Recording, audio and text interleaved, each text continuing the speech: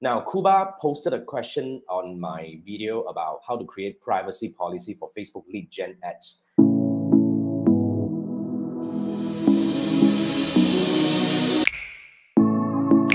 You see, um, everyone else who have done Facebook lead gen advertisement, you know that you need to submit a privacy policy link.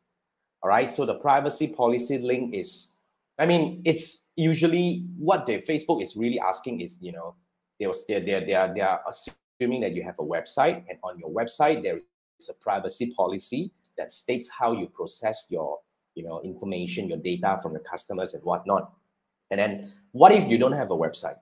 So if you don't have a website, my workaround is, you know, you create a Google Doc and publish it as a, you know, like publicly accessible document, and you can use that to run lead gen advertisement, or else you won't be able to run lead gen ads. That's a very important thing. Whether you're running lead gen lead form or lead gen via messenger, both you need a privacy policy. So this is a video where I share with you how to create this from scratch. I even give you a sample on how to, you know, a sample that you can just copy and paste to create your own privacy policies by changing a few things. It's like a swift file. So if you need help on that, you know, try to search for this video on my YouTube channel, privacy policy, and you'll be able to see this and uh, go through the steps. So Kuba is asking, is this still working?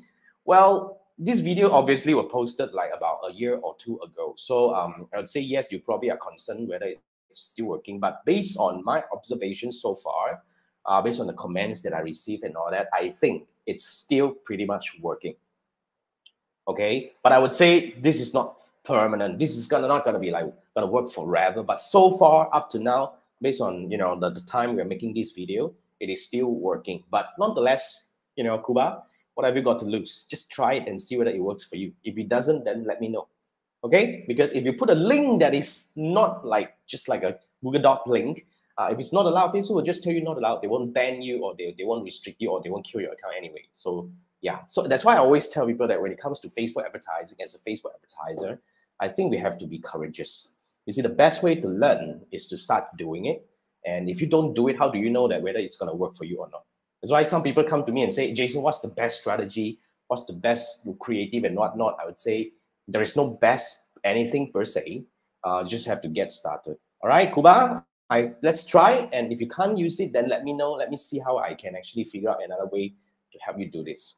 All right, Kuba, thanks for that.